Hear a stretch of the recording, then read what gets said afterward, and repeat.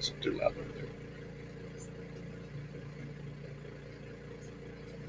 Good evening, everyone. Welcome to another edition of Prophetic Update Updates from the gate. from the Gate. Have to remember our own title, the Prophetic Update from the Gate. Good Wednesday evening to everybody. I know uh, there's many will be watching the uh, their home church services. So at least I hope our Shabbaters uh, sign on with us uh, tonight, and maybe others can watch it on the weekend. Hello, Garland. And probably Good to have you all, and Sherry Sherry there too. Good to have you guys uh, with us as well. And if you sign on, uh, uh, please again uh, hit a, hit a like, uh, make a comment, uh, do the little hearty things or whatever. Do something because seen the thing. all of those things, when you do those, uh, Facebook uses those to increase our audience size. The more likes and responses we get, the more our audience size can increase, or they get it out to more people. Uh, so to expand this ministry, uh, it's going to take many of Boost. you That's you know, to boost it. Yeah, boost. Yeah, to boost this ministry's uh, outreach. It's going to take you guys uh, responding back when you come on. There's a lot of people that watch compared to who responds. so, and, and I'm really guilty. I'm very guilty. A lot of times I watch what I like, and uh, and I don't usually hit like, or I don't always hit uh, make a comment. Rarely do I make a comment. Occasionally I hit a like, and so I'm trying to, uh, as I learn these things. Hey, Sharon, uh, to be a doer of those words and not just a hearer of those words. So, uh, anyway. So uh, I just encourage you, even if you don't, even if you don't like to do that as well, like if you're like me and you don't want to do that, uh, it doesn't hurt you. It doesn't bring anything back on you. Uh, just simply hit it. It helps us out if you do that to uh, to get into a better place. Linda. Uh, hello, Miss Linda. But we're glad to have you all here today. These are the And Margaret. uh, Margaret and Tommy. Good to have you all on tonight. I do have a, an announcement to make uh, that you make note of this. If you have friends who prefer to watch YouTube, who don't like Facebook and, and don't watch because of Facebook, but you've talked to them and and uh, we are now we do ha- now have a YouTube page.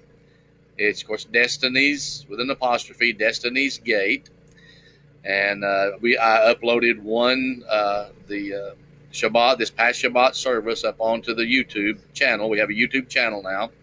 Uh, you can go to it and subscribe, and so I'm going to start loading. I've now figured out how to download these off Facebook Live and then upload them into uh, YouTube. Um, we're not going live on YouTube yet, but these are services you've probably already seen. Uh, unless I start doing some teaching straight to YouTube instead of doing them live, I may do that, even put some stuff up. But if you want to know uh, when something new is up on there, and that may be for some of your friends or relatives or people you know that just don't follow on Facebook, uh, but they do watch stuff on YouTube. So Destiny's Gate on YouTube.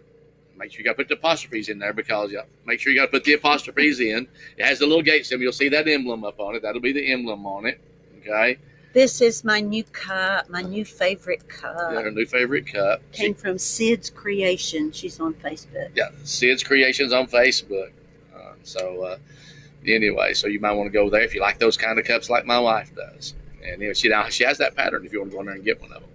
Uh, but anyway, uh, you'll see that that uh, the little gate emblem, the Destiny's Gate, and the emblem will be up on our YouTube Which- page. which our um, son-in-law is responsible for. He did that for us, and it's on our sign down there. Mhm.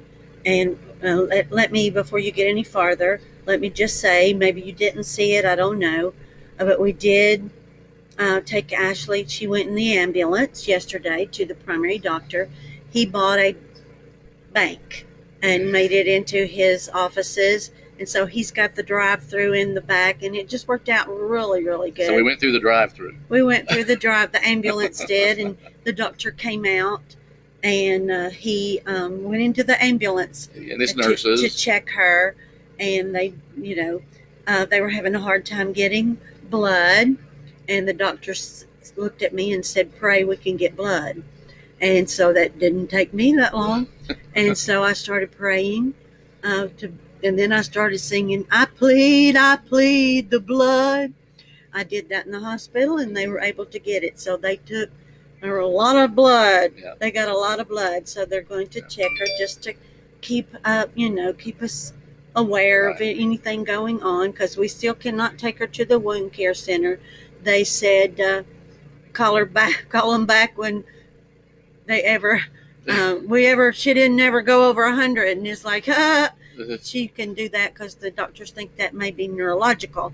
So Yeah, anyway, it's the up to a week now. Yeah, it has to be a week without any fevers over 100. But like, we trust can't our remember many of those in her life. But we trust our doctor, and I thanked him. He is a very strong Christian, and he's a godsend to us. So um, just be praying for him as well. Uh, that God give him, um, that God give him wisdom, because he's been treating her for nine and a half years, and has he listens to us, and so we're very thankful for Good that. deal. Good deal. Hi, Dad, Ron. Ron, hey Ron, welcome to to the live broadcast here from Destiny's Gate. Uh, but we are uh, Jeff and Angie Docker for new people's coming on, pastors of Destiny's Gate. It's a Messianic fellowship, and when you go on the YouTube, uh, the the instead of funny faces of us, you know that that that Facebook pulls out itself, while the uh, the videos on YouTube will have the sign from Destiny's Gate on it. So you have to look at the name of it to know what it is instead of which just has Ashley's name on it. which has Ashley's name on it. Which I'm going to check her. I think she may have just woke up. as one of the as one of the pastors.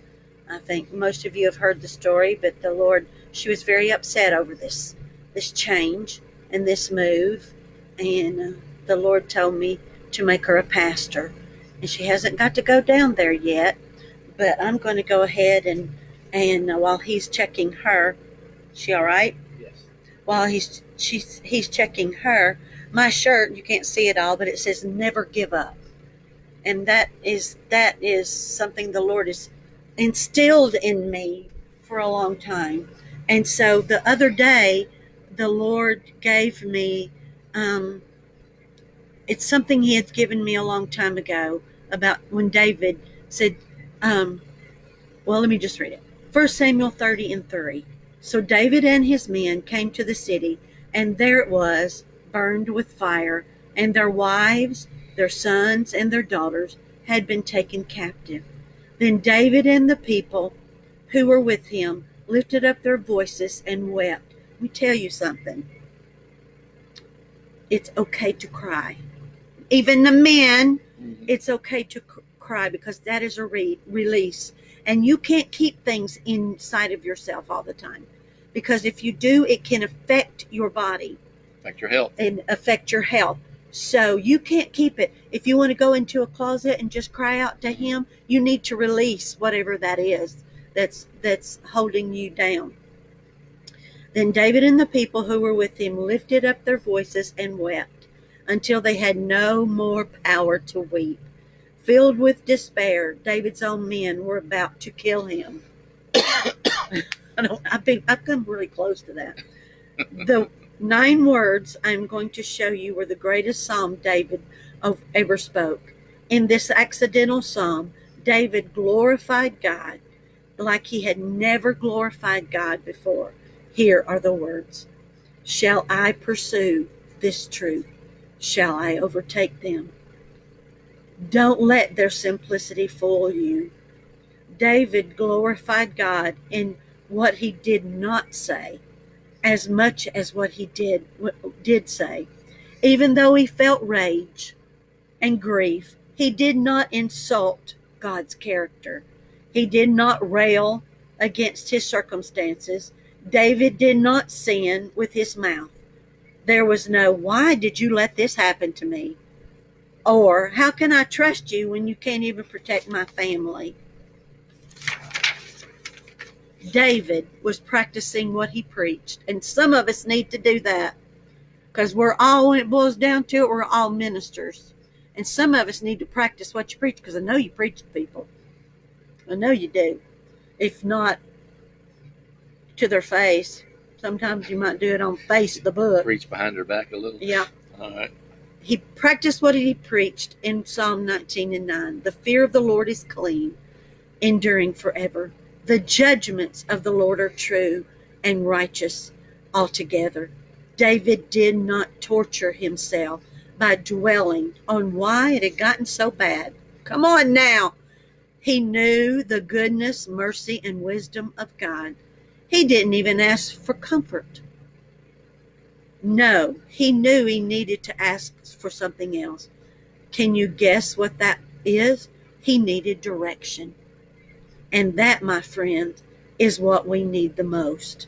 God answered David and gave him a promise Pursue, for you shall surely overtake them, and without fail recover all. That's what the Lord told me when I was praying for Ashley the other day. Because you know what? Sometimes the easy way is like, okay, you know, just let her go. Or we can just deal with this or we as can it just, is. you know, whichever way. But it's like, nope, I will not bow to that. I will not give up. I will not give in. I will fight and I will win. And the word says, and I shall recover all.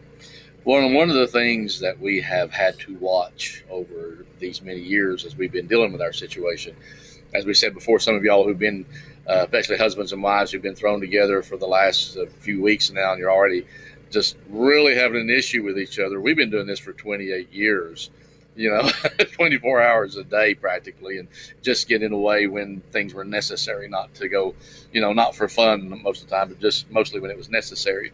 Uh, and and everything's not always peaches and cream, and everything's not always rosy, but uh, but you work your way through those things. Uh, but the deal is this: you have to be careful and don't just get settled where you are accept it don't accept it as the new normal of the way this is going to be and, and, god's had to shake us a few times over the years because it's easy to learn how to deal with ashley's with ashley's condition changes and it stays that way for a while it's easy to get adjusted to the condition and when, when things happen it's easy to get adjusted once you get once you deal with the change which we don't like to do but once you deal with the change it's easy to get adjusted to the change to where it becomes the new normal uh, that we're not supposed to stay in. I believe there's going to be a new normal when we come out of this, but it's going to be a better normal, not a worse normal. Okay, uh, and so you have to be. God's had to shake us and say, "Hey, you've stopped fighting. You you've stopped fighting against this, and you're just you're just dealing with it. You're just coping with it. You're managing it." And we, we weren't called to manage the devil. Nowhere in the scriptures that says manage the devil and he will flee from you, or manage the devil and you'll make it, or you'll be okay, or he'll leave you alone. No, you have to resist. To take authority. You have to fight back and you have to resist. All right, let's let's get into tonight. Again, we're glad all of you are here uh, with us uh, to do this. We are trying to limit these updates to one hour, but uh, you have to keep praying for us to get that to happen. Any okay? We're working on it. Father, we thank you for your goodness and your grace to us. We thank you for an opportunity to connect together as the body of Christ. Speak to us tonight, God. If there's any of our body, any any of our the body of Christ that's a part of the connection here to this ministry and to what we do that is in difficulty, that is sick, that is suffering, God, I pray that you would minister to them, that you would touch them, Father God, give them peace in their mind, peace in their heart, and peace in their home, Father God. Let your spirit be with all of us and may we become more like you through this process, yes. through this refining process. Uh, uh, I pray that you'd make us more like you. In Yeshua's name we pray. Amen. And amen. All right, the purpose of these particular um, uh, nightly, these, these three night events through the week, is to talk about what's going on, uh, to deal with where we are and what is happening, uh, to speak to events. And we felt that it was necessary at this time to begin uh, some prophetic updates uh, to kind of answer some questions of why and where and what and how long. And not that we're prophetic, uh, we're not prophetic experts. We are not prophecy preachers who have been doing prophecy preaching specifically like some ministers have for the last 20 or 30 years. Uh, like my friends, my friends Darren, who pastors Church of the Cove, he says, you know, we all got a lane to run in, and we're all running in our lane. Uh, so our lanes are different, but we're running in the same direction. And so, uh, prophecy, as far as just straight prophecy preaching, is not the lane we run in. Uh, but we have learned uh, over the years to research, to search, and to compare and to look. And so we want to talk to you about in this about some things uh, how to see these things and see them in perspective of what the Word says.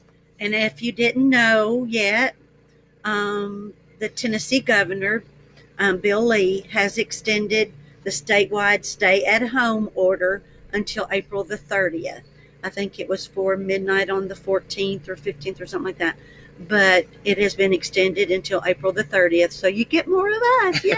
more of a still here April the 30th. Of course, you know, up in uh, Michigan where the rowdy people are, you know, they've been protesting and they've been having a drive-by protest in their cars today. Uh, so all those Michigan folks that you know that may be a little on the rowdy side, uh, that's been participating in that. Uh, each state's doing a little bit differently. So uh, some of you, I know where you're where you're calling from. Some of you around here are watching from around here. Some of you are actually in Michigan. Uh, and I did that on purpose to, to, to let you know I've been watching. We've been watching the state. Uh, but anyway, so seeing what's going on, a lot of things are happening. One more thing before he gets going. Um, also, he did say, the governor, that um, schools are to remain closed through the rest of the school year. Please be praying for the kids, And but please be praying for the parents. and the um, teachers and- and yeah, the principals. You know, my my um, sister is um, well, I think she's an assistant principal, principal now, but she did teach, and she you know really loves her school, and so it, it's it's hard. It's hard on all of them, but uh, please be in prayer for them. Uh, it, you know, especially the ones that should have been graduating this year. Yeah. I mean, that's a very special moment of your life. We graduated together hmm um, we were on the stage together with um, the for the um, whatever you call it Baccalaureate? ceremony, Sure, whatever yeah. you want to call it. Anyway, we were. Yeah, actually, uh, you do the. I, I did the opening prayer, Mm-hmm. and she did the closing prayer. You know, this is before we ever thought we we weren't going into ministry at the time. no, but they had I double dog they, they had us doing the praying even in high school, and the uh, local Methodist pastor was preaching our baccalaureate uh, up at Bethel Baptist Church. Our local Methodist preacher. We were at Bethel Baptist Church here in Townsend. Some of you there from Bethel or know of Bethel, and the Methodist preacher, Pastor Wilson, uh, was doing the baccalaureate service, and Angus and I was sitting there, and he said, "One of the things I'll miss about this senior class is seeing Jeff zoom by my house at about 15, 20 after eight. School started at 8:30, picking up Angie and zooming back by, trying to get them, trying to get both of them to school on time, you know." And he said, "But we all know what kind of plans they already have." And Angie's mama went, "Huh," like that, really loud. Everybody heard it, and everybody laughed. So, anyway. so God's had us in His hands for a while. You know, we've been how long? We've been married for 45 years this year. This December, No. be no last year. last year. Last year was 45 years. We've known each other for forty-seven. Yeah, we've been we've been seeing each other for 47 years. Got married uh, at 18. Started dating at 16. Got married at 18. Started having sure, kids at just tuned 20. in for all of that. Yeah, and so uh, God's had us in His hands, putting this together for a long time. So that's why we can, we can deal with each other uh, through all this, and, hopefully God gives you the grace to do whatever it is you need to do. All right, prophetic events. Uh, I wanted to talk about something uh, tonight that is not always included. What what happens a lot of times is we see an event like this pandemic take place, and immediately we focus on the event, and everybody begins to search and talk about is this a last days event? What does this event mean? And they'll, they'll look in and they'll see, oh, there's supposed to be pestilence, which is, uh, you know, pandemics. It's diseases comes from animals. So, oh, the Bible talks about these. We must be. Some say, oh, we must be in Revelation. Some say, oh, we're no, we're in the last days. And and some go, I don't mean anything at all. Uh, the issue is this: you have to look at more than just an event when you're trying to determine the time frame that we are in. You can't just focus on an event itself. Uh, because, and we're going to go to Matthew chapter 24, very familiar scriptures tonight. Uh, but as you're getting ready to turn, I'll talk about these things. You you look for some more things, and these are not all the things. Uh, but but you know, besides looking for the biblical signs, besides searching your Bible and saying, "Oh, is this a biblical event? Is this in our Bible somewhere?" Uh, so you do. You look at the event itself and you search it up and say, okay, is there scriptural reference to this type of event? Then you got to look at the timing of that event. When is it happening, and, and where is it happening? To what degree is it happening? Uh, you have to look up the frequency and the intensity of the events because one of the signs is earthquakes. We've always had earthquakes, always back in the Bible. There was an earthquake, you know, in the time of Isaiah and, and Uzziah. There was an earthquake back in Isaiah's time. Uh, that was a that was a notable earthquake, and there was an earthquake during the crucifixion. Ground shook. There was an earthquake. Uh, so there's always been earthquakes, but you have to look at the frequency and the intensity, uh, how often these things happen, which is increasing. Increasing. Uh, but one of the things that is not always considered when you look at these events is the hearts of the people. The hearts of the people. What are the people who are on the earth like?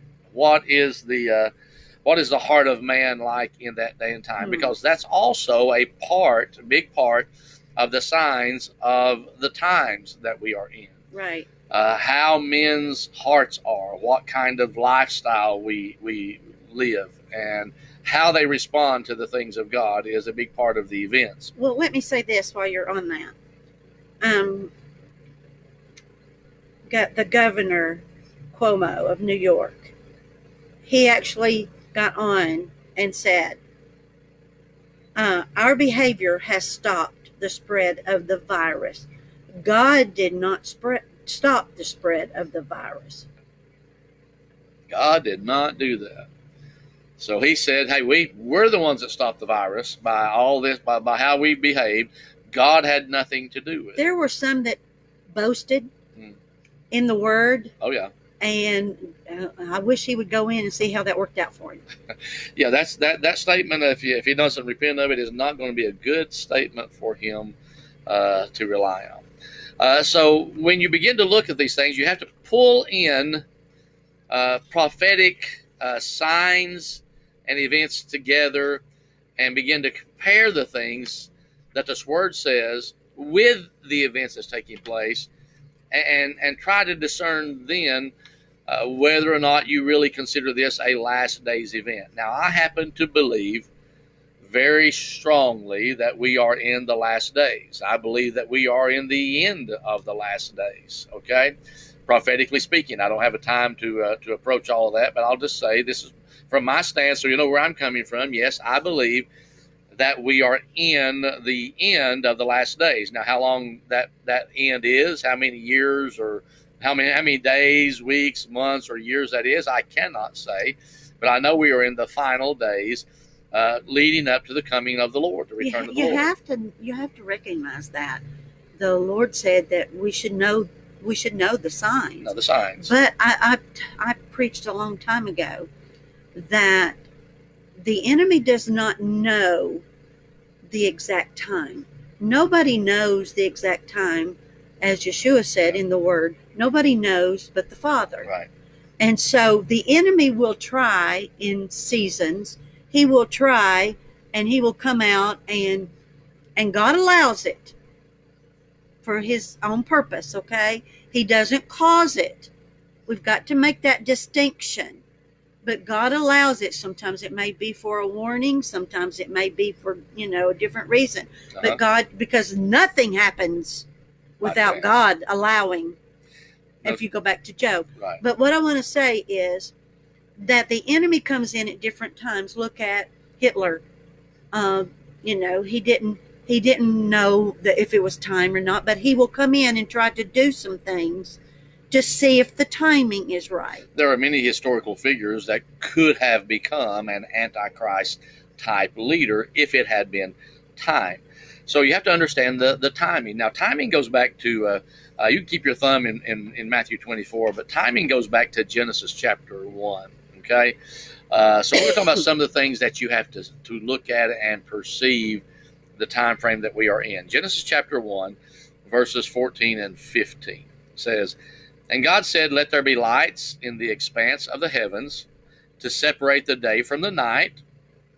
You know, you have you have the, the lights, the moon and the sun and the stars to separate the day from the night, the light day from the night. And let them be for signs and for seasons. That word seasons is moedim, not means doesn't mean summer, spring, and fall. It means moedim. It means appointed times. Let them be for signs for appointed times and for days and for years. And let them be lights in the expanse of the heavens to give light upon the earth. And it was so. So, in the very beginning, God set signs in the stars and the heavens. Now, we've talked about this, but I like to mention things more than once. You cannot govern your life by the stars. If you're reading, if you're, if you read on your sign, the horoscope on your sign, cut it out. That's witchcraft. God forbids it. Uh, our lives are not to be directed by the stars, the sun and the moon and the stars. We don't make decisions based on what the sun, the moon, and the stars do. Not, not like no, not like that personally. yeah, you don't make a decision. Yeah. Like, oh, I can't go out today because my horoscope says this is a bad day for me or so and so is going to happen. No, you do not guide your life by the stars, but they were put in the sky to to understand prophetic times and seasons. God put them up there as a clock. We know now because we have computers, we know that they are very accurate. Okay. Uh, they can be predicted down to minutes and seconds. You know, there's an atomic clock uh, that you can go on to that basically is supposed to be right on, and every other clock set like that. So uh, the people that God created on the earth, He didn't create them all with a watch on their arm. He gave He gave them an understanding of the sun, the moon, and the stars as God's timepieces for the events that would come later. Let me go back to the horoscopes for just one second. Okay. You can get into that because I'm going to tell you that it's part of a mind control. Mhm. It- And it I'm going to tell you this: you don't even mind. have to go to a psychic. I call it. That's what I call a psychic. You don't even have to go to, to that. You can go to some churches. Ooh, did you just say that? Oh, Yes, she I said did. that. She said it. Yes, I did. You can have mind control even in some churches, Right, because and you can start to believe it. right, And you know what? When you start to believe it and you start saying it and speaking it and decreeing it over yourself, you are putting a word curse over your own Yeah. self. and when when any minister, any minister, any denomination, anywhere, when those ministers Do you like that, Chris? begin to manipulate, they try to manipulate you. Pa- pastors, be very careful because when you use manipulation, when you Witchcraft. when you when when you use manipulation to try to get the response that you want, when you use manipulation to try to get a, a bigger offering, when you use manipulation to try to get people to respond, when you purposely try to to tug on the heartstrings of your people to get a particular response out of them, uh, instead of trusting the Holy Spirit to touch them, then you're operating in the realms of witchcraft, which is manipulation, rather than trusting the Holy Spirit to do right, uh, the work that needs to be done. right. And so there are things that we've allowed in the church or we've done in the church. And, and so we have to be very careful in these things. And I'll give you a little pet peeve. I didn't mean to get off on this bunny trail, but since no, we're here, no. we're going to stay here just a that. moment, okay? Is because of this. I, especially on Facebook, some of you all have sent these out, so be very careful with this. We send out a chain letter on Facebook. We say you need to do this, this, this, this, and the blessing is going to come your way. Or the curse. Honey, that is simply Witchcraft. witchcraft disguised by a Christian face on it. No, you can. I, I will not be blessed or cursed whether or not I repeat your or I, I copy and paste or repeat your post that you sent to me because some of you sent it directly to me because you know I'm a pastor. Oh, do this and this and this and send it on and you'll be blessed. And, and no, a chain letter is witchcraft. Okay, Amen. it's manipulation. Doesn't matter if it's got a scripture in it. Doesn't matter what it's. The devil can quote scripture, folks. He knows the Bible better than you know the Bible. So be careful what you get yourself into. Amen. Okay? Be careful with these things. So the sun and the moon and the stars were set there to be signs that God would use in his prophetic clock so that we would know when things are going to happen. And whether you realize it or not, we just came through the feast. And, and, and they're they're set by the clock of God's timepiece, okay? They, they are set certain times, and you can even go back before there was uh, instructions in the Torah, uh, back to the time of Noah and some of the others, and you will find that they were operating according to God's time clock uh, of these events, even before they were described in Moses' writings in the Torah of what they were for. Okay, uh, the the the the flood came and ended on feast cycles. All right. Abraham, when the Lord appeared unto Abraham, what did he bring Abraham when he said he brought him some unleavened bread because he showed up in the time of unleavened bread. Abraham brought him unleavened bread. Yeah, they say, well, it's because it was quick. But let me tell you, I don't know about you, but I don't keep unleavened bread in my house unless it's the feast of unleavened bread. Why? Because it don't have much taste to it. Now you can make it a little tasty. You know, and I'm not the best cook in the world, but usually when you bake bread, because all other scriptural bread, bread that's baked is baked with leaven in it. All right, so you go go down through there and see a lot of these events all happened and will happen on God's time clock, which is governed by the stars and the sun and the moon. Why? Uh, just because because right now, even in the Jewish community, they they debate over the calendar, over the Hebraic calendar. Okay, we've had two different calendars in in uh, you know we in, in Western society we've had two different calendars uh, since the time of Christ. All right, uh, that that's been that's had to be adjusted to and dealt with, and then you got a one calendar set up by the Muslim faith, and you got a Chinese calendar, and you got Aztec calendars that they've had, and you and like I said you got a two different two or three different kind of Jewish calendars.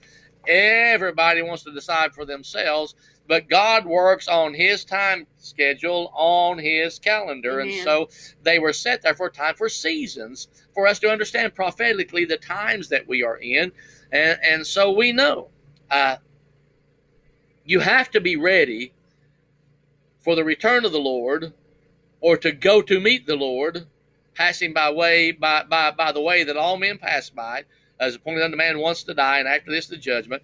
You have to be ready any time for that. But you also can know that God works prophetically in certain seasons. Right. He he you know he he, he gave his life on Passover. He laid in the grave on unleavened bread. He rose from the dead on the third day, and then first fruits, as I say, became the first fruits of them that slept.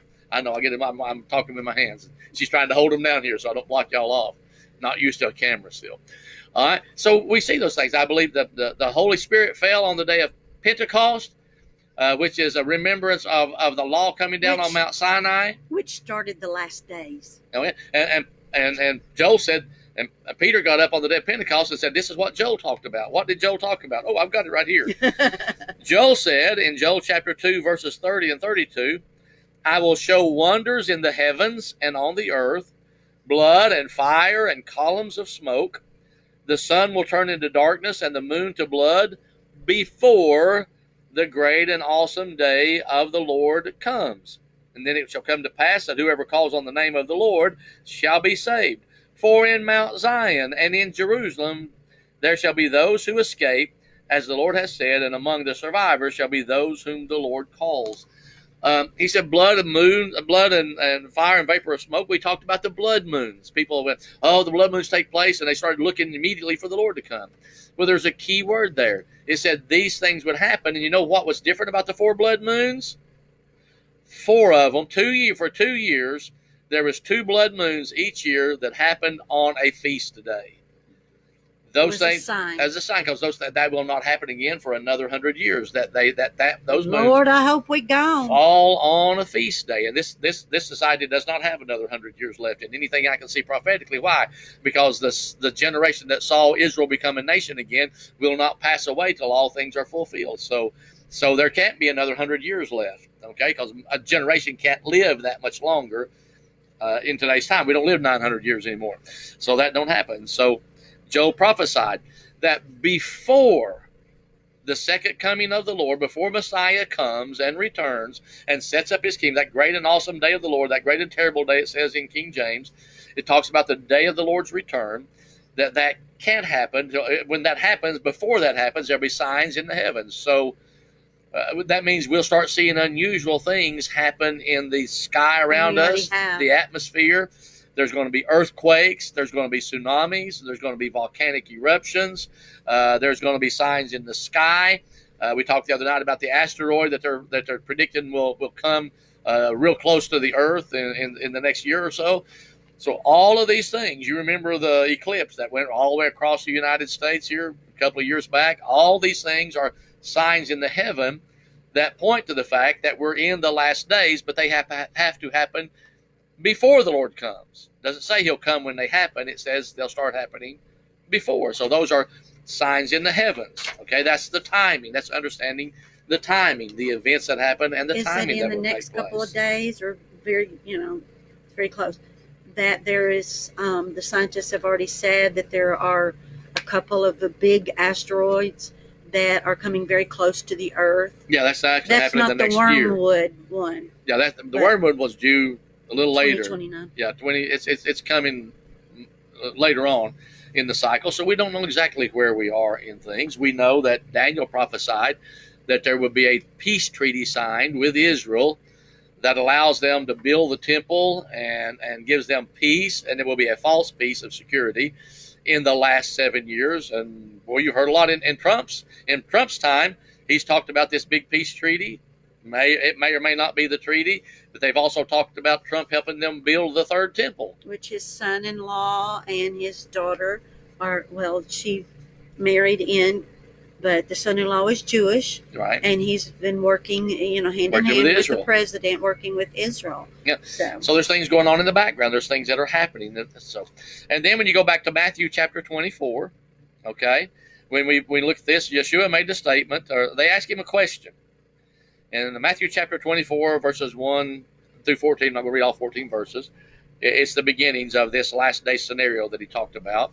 Uh, they had come out of the temple because they've been into the temple probably for the hour of prayer, for the time of prayer, and they pointed out to the Lord. They said, "Look how beautiful, marvelous all this is—the great columns and the marble and the pavilions and all these things."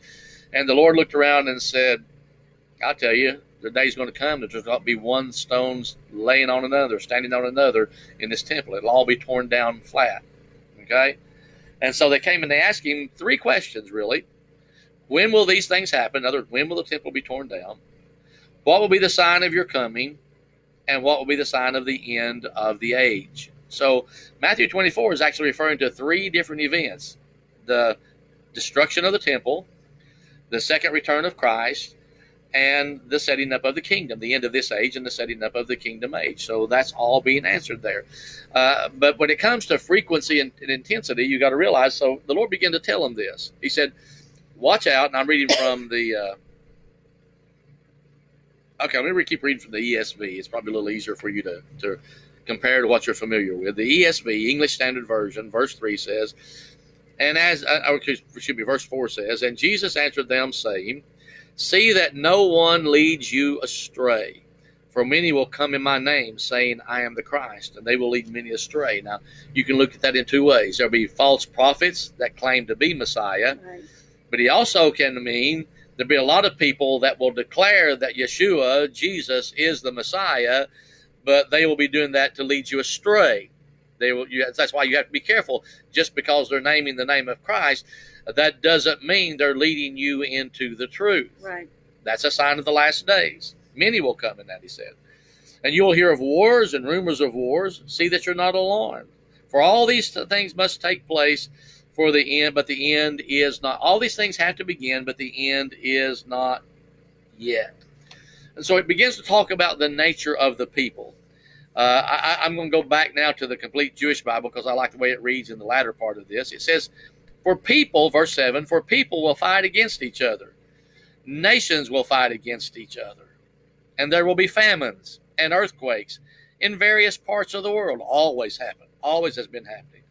All this is the beginning of the birth pains, the beginning of sorrows, it says in other versions. In other words, but it's the frequency and the intensity of the. This is where you go in. You have to watch for the frequency and intensity. and that in different different places where it says various places it also means different places maybe they've never had That's that never had 'em before they've never had a destruction before and all of a sudden you know the floods well gatlinburg pigeon forge was just flooded Mhm. uh, uh, this was all going on at the same time Right. there were earthquakes uh, cleveland tennessee chattanooga tennessee just had torn- de- destructive Destructive tornado. tornadoes all of these things were happening almost uh, and actually they were on um, let's see was it last sunday night some of them were some of them were so uh, all these things together and a lot of them were together They're talking about uh, eruption in Yellowstone. They're talking about eruption somewhere out west on, on, on the west. They're talking about earthquakes up at the west coast. They're talking about the Ring of Fire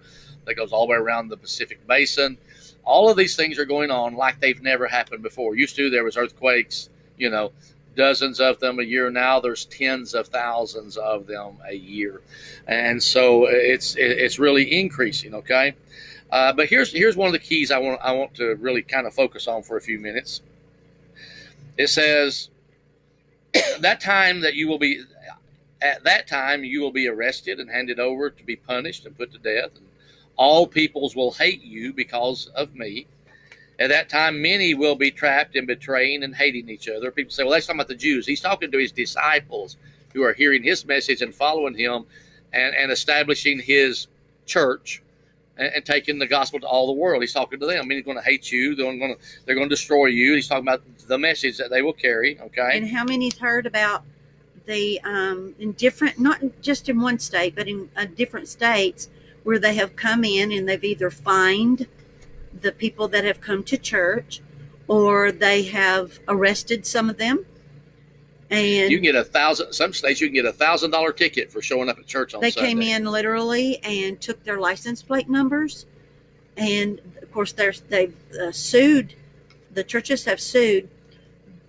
Do I have a little bit of? Oh, hmm.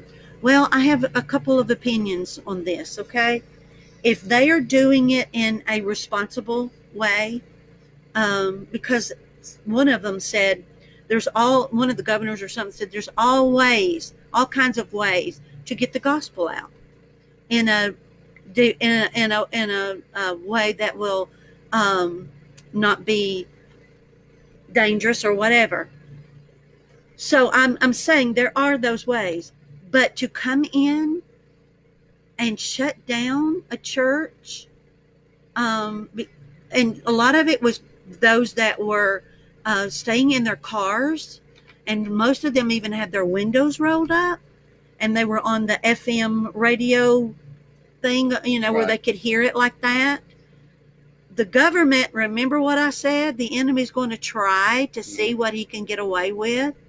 And so they're trying, the government, it's honey, a lot of it is that is going back to your mind control. All right, and, and going on to the complete Jewish Bible, it says in verse 10, at that time many will be trapped into betraying and hating each other. It's talking about people, believers will be, will be betraying and hating each other. Many false prophets will appear and fool men. You know, he's talking to the church here, folks, because uh, most of the world don't care what prophets say, false or real or otherwise. Okay, he's talking to the he's talking to his disciples. He's telling them what's going to happen to believers in those days. Many people's love will grow cold because of increased distance from Torah. Now, uh, the King James and the other English versions say lawlessness. That has nothing to do with really just breaking the laws of the land. That's not what it's talking about. It's the farther away we get from obeying the word. The law of God. The law of God, the Torah of God, the law of God, obeying the scriptures. Remember, when this is being preached, there was no New Testament scriptures. He's speaking of the Torah. He says, and he said, in the last days, they're going to get so far separated from the from the Torah, the instructions, the directions of God, uh, and they'll get far, their hearts will get cold when they get farther and farther away from the the Word of God. Absolutely. All right and many people's hearts will grow cold. They get distant from Torah, and whoever holds out till the end will be delivered. And this good news about the kingdom will be announced throughout the whole world as a witness, and then the end will come. Uh, so it talks about the hearts of the people. Now, it talked about there, it gave you a lot of the character of the people. What we are seeing in the hearts of people things we have never experienced in our lifetimes. Just basic goodness. Now, they they laud it on when, when they see it on TV, and, and we we we see these we see these uh, people that step out and they do great things, uh, and and they they you know we need to pay attention that there are still people doing righteous and good things. They're feeding people. We got people in our county that are feeding people. These are good people that are feeding people, and other people are trying to tear them down, trying to say they're trying to bring attention to themselves. Uh, that's a lie of the devil. Uh, that that's people who don't don't really know and understand. Uh, just trying to feed people and make it make everybody else aware where there's food at and and and who to call or who they're looking for to do these things. Uh, I want to take you to Timothy and just read a few well, scriptures first of all, in Timothy. Before you go too far, I, am still in that same theme. I'm not leaving okay. the theme. Well, just want to say now the government is telling some of the stores, like I heard even Walmart and Target, what is what not to sell some things, and they actually have barriers um, that will keep them from going to those things in the stores. Right. And you know, telling them what to sell. Now you go back to well, you think that well, when it says that we're not going to be able to buy or sell, maybe it means for right now something a little bit different. Okay. And these things are all set up for what's coming. I'll, I'll, close. I'll, I'll get to that at the very end. What I think about that. Second Timothy chapter three verses one through five. Just five verses here. But understand this: that in the last days there will come times of difficulty. Lord, help us. If this is not a time of difficulty, going to get worse. If this is not difficulty, then we must be looking for some worse things to come. Uh, unfortunately, there are. For people will be lovers of self, lovers of money, proud, arrogant, abusive, disobedient to their parents, ungrateful, unholy, heartless, unappeasable, slanderous, without self control, brutal, not loving good, treacherous, reckless, swollen with conceit, lovers of pleasures rather than lovers of God, and having the appearance of godliness but denying its power. Avoid such people. We so we see in all of this that the hearts of the people are a very important ingredient to understanding the last days. Right. What are people like in this day? Uh, we've noticed times you you can you can tell the difference in a generation or two. If you go back, I mean, most of us in our family maybe have at least two or three generations back from us. Okay, as far as grandmothers or maybe great grandmothers, depending on how old you are. I mean, I don't have great grandmothers left, or uh, or even actually any grandmothers or uh, grandfathers alive uh, because I'm now in my 60s. Uh, but I, I lived in a time when there was five generations of our family in the Townsend Church of God here. So I've lived in, um, seen different generations. And you can see how people think and, and, and how, what their respect is like, what goodness is like when you look at the difference in the generations. I remember when we lived in Millington, our parsonage in Millington, we lived right next door to the city judge. But his house was the very last house on the street, or the first house on the street. If you're coming off the main road, his was the first. Ours was the second. But when you went on down the road and you made the made the turn and went on down about a half a mile or so, you run into the drug dealers. Okay, you run into a lot of drug dealing and things of that nature down on just on the opposite street of where we live. Matter of fact, some of our military members of our church were forbidden to be on our street. They couldn't come to the pastor's house because the pastor's house was on a drug street. I mean, our Yeah. next our next door neighbor uh, one time. Uh, her and her husband were on drugs, and I came back from a Church of God camp meeting and found her stand, sitting on my doorstep. And I knew her. I'd witnessed her and talked with her. I said, Linda, what's wrong with you? And she was just in tears. She said, I need you to help me. She said, My husband took all of our money and paid off the drug dealers. Yeah, that's probably a, more of a common law marriage husband thing. But anyway, my husband took all of our money, paid off our paid off our drug dealers, and then hung himself in our front yard While we were gone. while we were gone, and she found him when she came home from work. And here's what she said, and I can't get anybody to help me or to talk to me. No pastors will talk to me. Nobody will help me. I need you to help me. And we did. We loved her and we took her in. God gloriously saved her and cleaned her up. She became a Sunday school teacher. Uh, she did a lot of lot of good things. Had a little daughter left because they had a they had a daughter together and had their daughter and raised her daughter in the church and was teaching Sunday school and ended up actually in one of the big Baptist churches. When we left, she's in one of the big Baptist churches in our town, still teaching.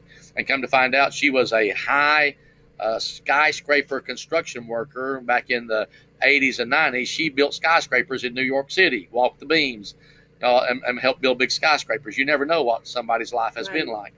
Uh, but anyway, nobody would help her because nobody wanted to be bothered by her. But what I started to say was this: so they were there on the drug street, and so two men, I could, I, I saw two men walking by the house. It was late one night. All of our lights was off. They couldn't see me standing in my door, and they were walking by. An older man, and a young man. And the young man had, had finished drinking a, a, off his a beer or soda or what, but it was a can. And they walked by my house, and he say beer. yeah, probably likely it's a beer. He threw the can into my yard. And the older man, again, both these guys were going down to the drug inn. They said, "Hey, that's the preacher man's yard. You don't do that. You don't throw that in the preacher man's yard. Go get that out of the preacher man's yard." Why? Because his generation had a respect. Exactly. Okay? They had a respect that had been drilled into him, even though he was on drugs, even though he was on alcohol, doing alcohol and drugs and things of that nature. He still had enough respect that he didn't want the younger generation throwing beer cans into the preacher's yard. Nowadays, they don't care.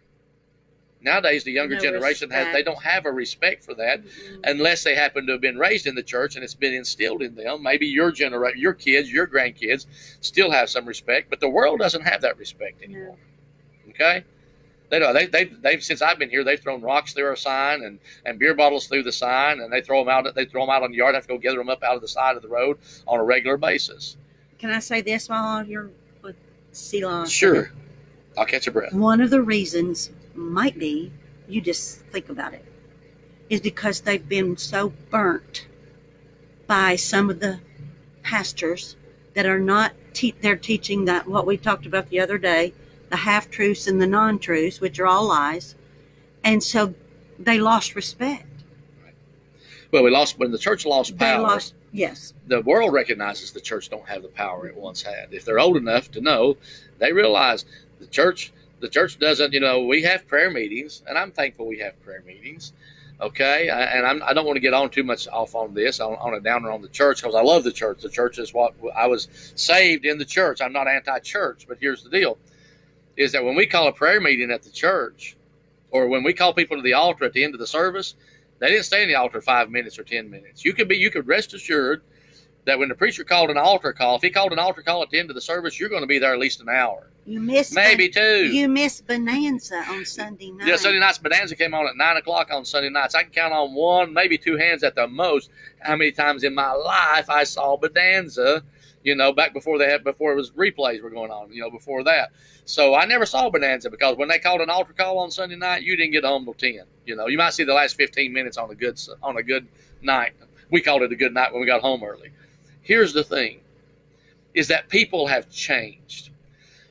Paul said in, in, in Thessalonians, I, I think it's in in, in uh, uh, Second Thessalonians. Let me look right here. I had I had it right here, and then uh, I've, I've kind of lost it. But he made the statement. It says people's hearts would grow cold. Yes, Second Thessalonians chapter two. He talked about the great falling away, that the Lord will not come until first there's a great falling away. Now, I understand that people don't go to church like they used to. Okay, there are people don't go to church like they used to. People don't uh, believe in God like they used to, especially the the younger generation that's coming up. And there is a revival in the younger generation. I don't want to peg them all with that. But a lot of college age, twenties, thirties, they don't believe in God like they used to. Okay, um, but that's not what we're talking about. We're talking about such a falling away of the faith that it becomes visibly noticeable. Okay, in England, they will tell you in England that your great cathedrals and churches where the revivals of the 17s and 1800s and some of the greatest preachers of those ages preached are empty museums now Amen. Hope. they are empty.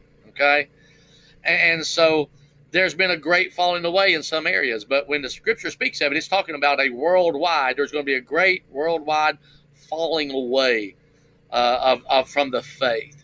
Uh, there will be remnants of people that will still believe and, and trust God. There'll be nations that still viably trust God, and I pray that America continues to be one of those nations. But we can't get away from the prophecies that there has to come a great falling away. So people's hearts are also what you have to watch. All you got to do is watch it, watch your TV. Now I know there's people that tell you to not watch the news, and I realize how how dangerous it can be to watch too much news.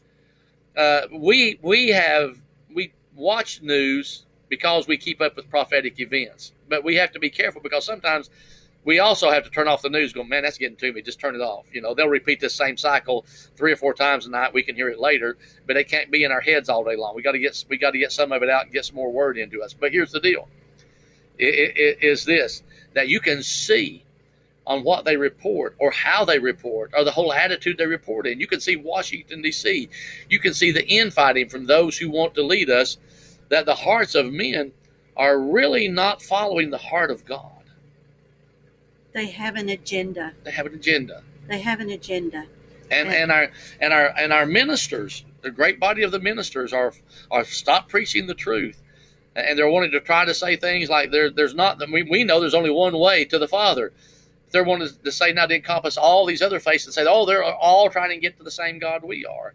And so these are signs that people are falling away from the faith but we haven't seen the fullness of that sign yet. That means there's going to come a time that's going to become really visibly noticed to everyone that in the midst of while some are having a great revival, there's also a flip side of this coin that there's a great falling away. Right. So don't give up on the revival. The revival is is taking place, but also be aware of there's supposed to be a falling away. So when you see the falling away, don't get discouraged. Know that there also should be a revival on the other side of that coin. Okay. You got something else there before I, I do. close? I want because the way what you were saying um, about the gut, you know, just saying, um, are we playing right into their plan? This is a thing that I found um, a couple of days ago, and there, there it starts out by saying that the one that kind of ran against Trump, we'll just we'll just say it like that. She made her college thesis on this person's writings and his name is Saul Alinsky. And it says, and the title of it is, Are we, of this paper, Are we playing right into their plans? And here's what his title was How to Create a Social State. There are eight levels of control that must be obtained before you are able to create a social state. The first one is very important. You ready? Health care Control healthcare and you can control the people. Poverty. Increase the poverty level as high as possible. Poor people are easier to control and will not fight back. If, Hmm. if you if are, you I got it. If you are providing everything for them to live. Hmm. Debt. Increase the debt to an unsustainable level. That way you are able to increase taxes and this will produce more poverty. Gun control, Garland. Remove the ability to defend themselves. If you go back to what I was talking about with Hitler and, and some of the other things that was that happened with along those lines, one of the first things they did was take away their weapons.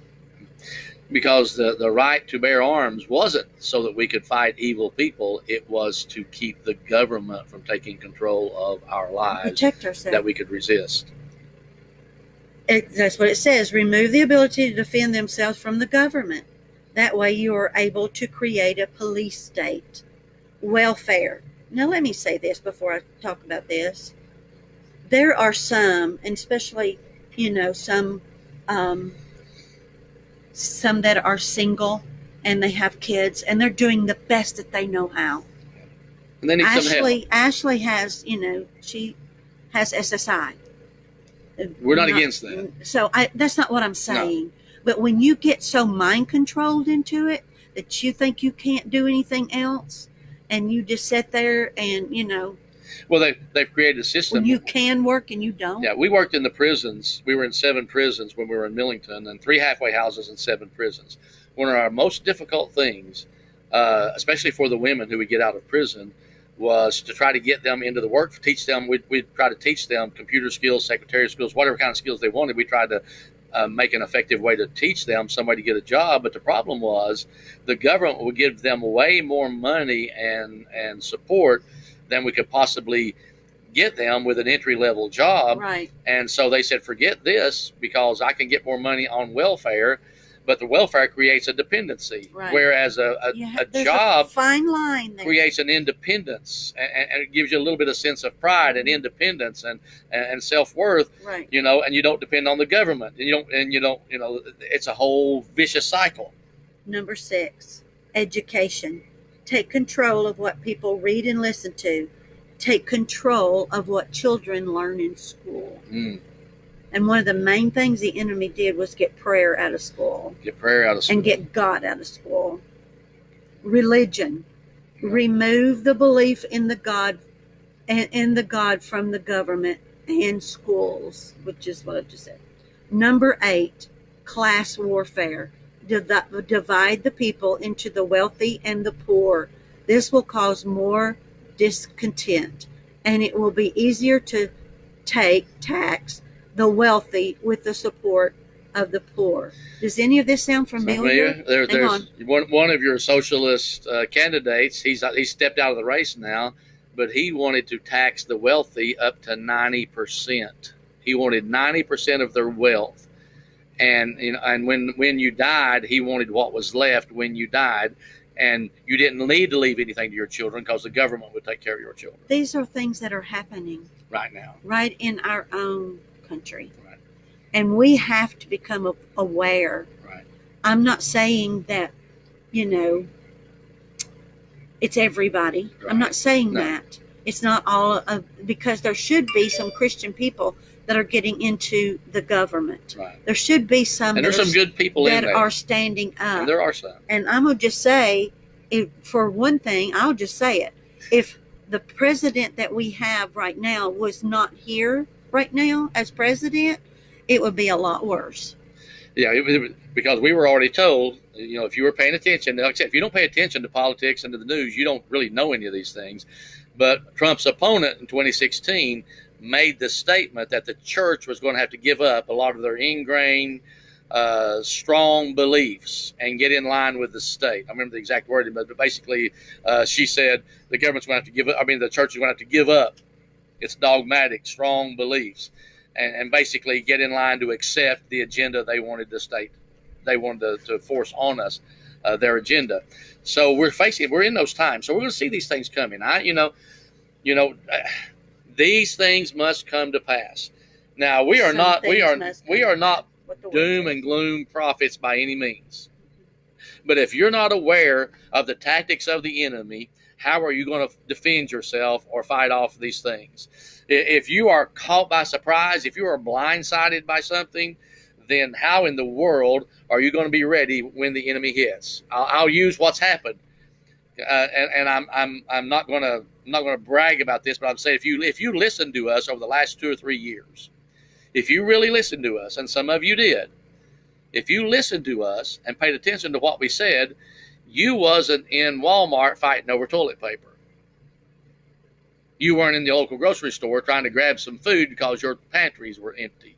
You had a stock you had a stock room, you had a storehouse in your house. You had put stuff back. If you listened to what we said, because we kept we've been telling this for the last two or three or four or five years or more actually a little more than five years now that you needed to have food and water you And needed to get you some seed and, and- yeah heirloom seed. You need to be ready for difficult times because biblically difficult times were coming. Just so we're not, we're not we, don't, we don't tell you all this to go oh i don't know what we're going to do. We're telling you this so that you won't be blindsided because so when this happens the next time if, if you if this happens again no when this happens again and it will eventually i'm not saying in the next two weeks or next two months or even the next two years but at some point in our lifetime this is going to happen this things like this are going to happen again may not be the exact circumstances but things are going to begin to happen they're going to uh, to escalate as we grow closer to the coming of the lord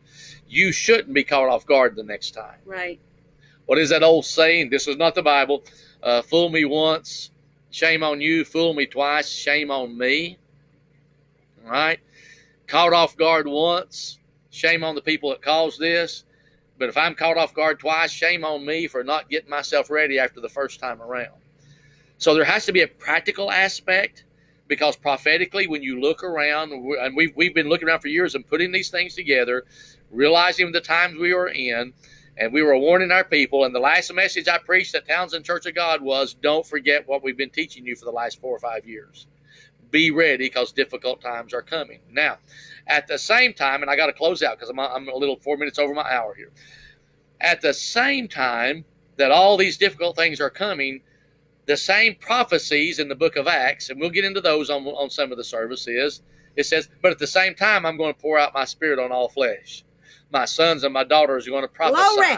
Old men will dream dreams, and young men will see visions. Upon my servants, on my handmaids, I'll pour out my spirit, says the Lord. And this will be that which is promised by the prophet Joel. You'll see it begin to take place even the more so. So, what does that mean? Exponentially toward the end, if, if the signs of the times begin to uh, increase exponentially and begin to uh, increase in frequency and intensity, Come you can be guaranteed that there's going to be an increase in the frequency and the intensity of the outpouring of the Spirit of God on whosoever will receive it. There will be power and signs and wonders uh, that, that will be come back to the church. That's where the power is coming back in. That's why we studied for years also what's robbed the church of its power and get us back to the power the church yes. is supposed to have because there's going to be demonstrations of the power of God in the midst of all this that's going on. And all will see how great is our God. Amen. Because I'm going to tell you one of the promises that was given to us. And the Lord promised this, and He does not go back on His promises. Absolutely. He told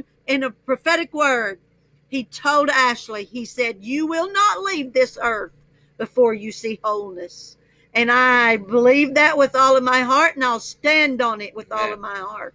So I'm just saying, people are going to see how great is our God. Lord said, You are going to be a servant of the last day's house, and you will have a voice in it. So we are still looking for great signs, wonders, and miracles. That doesn't make us believe.